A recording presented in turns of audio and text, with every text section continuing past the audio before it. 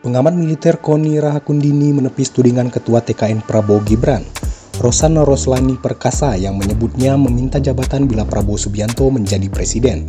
Koni dalam hal ini menyampaikan deklarasi perang sebagai respon atas pernyataan Rosan tersebut. Hal itu disampaikan Koni dalam jumpa pers yang digelar di Jakarta Selatan Senin 12 Februari 2024. Koni menjelaskan sebenarnya dia tidak kenal dan sebetulnya tidak pernah ingin dekat dengan Rosan.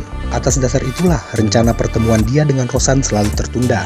Akademisi tersebut membantah semua cerita yang diungkap Rosan tersebut.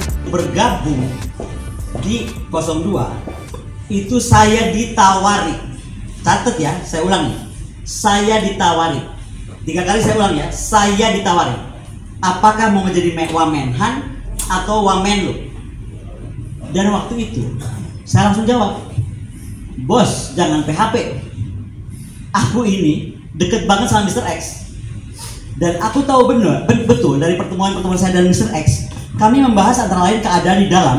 Di dalam sana tuh sudah syarat, syarat gontok-gontokan. Why? Di sana itu koalisi lintas partai yang gemuk. Jadi semua orang udah udah pengen, saya mau jadi ini, saya mau jadi ini, saya mau jadi ini. Ini kita common sense aja. Saya bukan siapa-siapa, akademisi dari luar, hanya advisor. Mana mungkin tiba-tiba saya klaim, halo saya mau apa gitu which is not me at all gitu kan. Nah kemudian karena saya bilang tidak mungkin ditawarkanlah saya Jeep Bentley First Edition. Anda Google aja. Di Indonesia tuh berdua ada Jeep Bentley First Edition. Harganya 11 miliar. Dan itu saya tolak. Kenapa? Karena saya tidak mau dijadikan alat untuk diviralkan bahwa oh akademisi satu itu udah dibeli. Oke, okay? clear ya? Jadi dua sebenarnya ditawarkan posisi wamen yang saya, saya tertawakan bukan saya terima saya tertawakan waduh nggak mungkin banget ya. ngarang karena saya kenal Mr. X mungkin kalau saya nggak kenal Mr. X saya percaya aja lah Mr. X itu dewa loh saya nggak akan sebut namanya tapi dia dewa ya.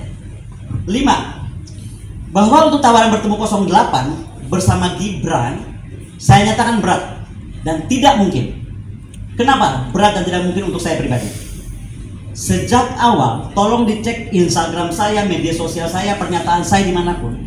Saya selalu konsisten. Prabowo no problem. Tapi Gibran big no.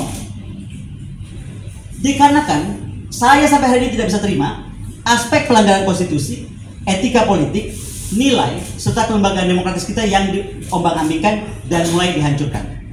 Saya sampaikan masih ada waktu dan celakah. Waktu saya sempat tanya, kalau tetap mau saya